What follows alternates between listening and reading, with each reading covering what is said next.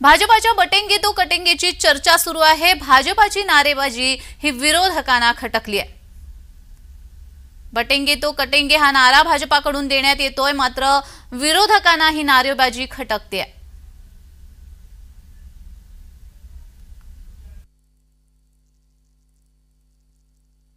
शिवाजी महाराज का संघर्ष हो या संभाजी महाराज का हमें नई प्रेरणा देता है।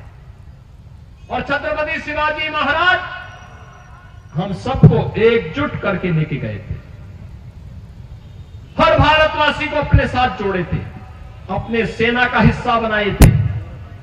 छत्रपति शिवाजी महाराज, जिस एकजुटता का प्रदर्शन करके हिंदवी साम्राज्य की स्थापना किए थे, आज उसी का आह्वान करने के लिए उन्हीं से प्रेरणा लेकर के मैं बार बार आपसे कहता हूँ कि बंटिए मत। उन्हीं से प्रेरणा ग्रहण करके मैं आपसे कहता हूँ, बटिए मत। क्योंकि जब भी बटे थे तो कटे थे।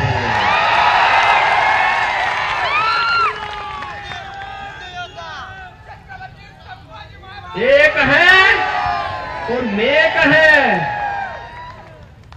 एक है तो सेप है। और बटे थे तो कटे थे। हमें बटना नहीं है एकजुट होना है। सगळीकडेच बटेंगे चालले आहे सगळीकडेच कटिंगे चाललेलं आहे त्याच्यामुळे नवीन काहीच नाही आहे. भैया एकंदरीत असणारं हे असंच चालत राहिलं तर मला असणारं आपण त्या आखाती देशासारखी असणारा परिस्थिती निर्माण करतोय का? ही त्याच्यातला बाब आहे. म्हणजे आता अकोल्यातलंच तुम्ही असणारं घ्या ना.